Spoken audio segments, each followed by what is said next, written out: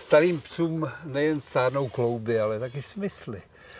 Přestávají vidět, přestávají slyšet. Jaký s tím máte zkušenosti? No, přiznám se, že se potýkám, sám se seznamuju s těmito problémy, jak se ztrátou smyslu hlu, sluchu, tak i se ztrátou smyslu toho vidění. A je to teda těžká potíž. No. Je to věc, která nás trápí. Určitě chovatele všechny, patří to ke stáří taky. Vaše kony slyší dobře, je jí 10 let?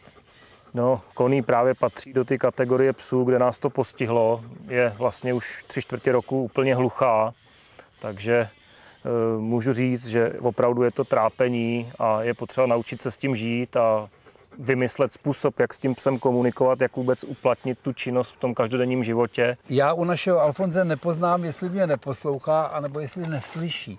Už je mu o dva, skoro o tři roky víc než koní.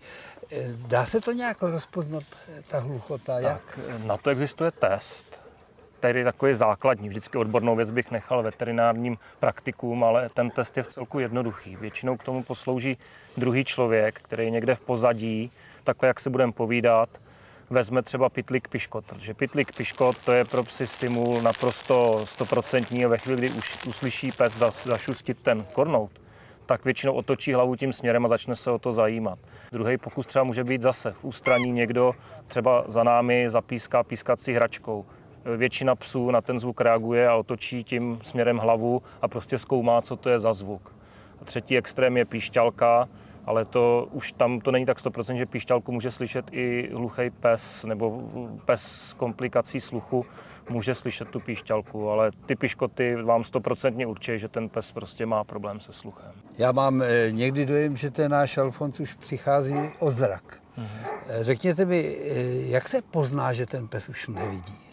Tak zase.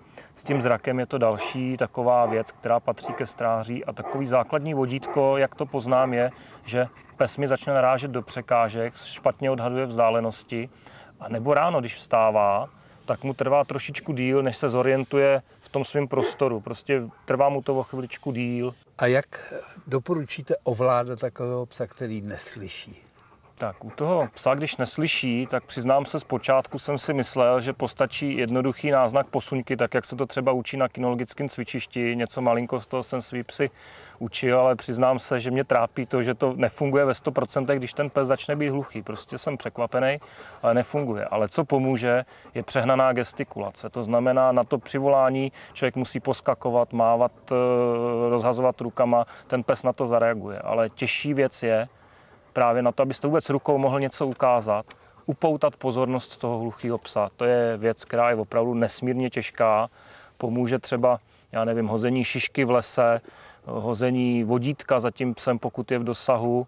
Já myslím, že důležité také je těm starým psům trochu omezit stravu, ale co vy byste osobně doporučoval si především ohlídat u těch starých psů? Tak, u starých psů všeobecně omezení stravy a dieta, to je velký klad. A u těch, kteří mají handicap, který je postižený buď to tou hluchotou nebo slepotou, je to i ohlídat si prostředí, kde ten pes se pohybuje a i u pejska, který byl zvyklý prochodit celý život třeba na volno s vámi na procházkách, tak teda přichází situace, že potřeba vzít vodítko. Jakmile vzniká situace s nějakým potenciálním nebezpečím, musíme zapomenout na to, že jsme byli zvyklí se psem pracovat na volno musí přicházet teda vodítko a tomu psovi vlastně dělat průvodce přes ty nebezpečné úseky.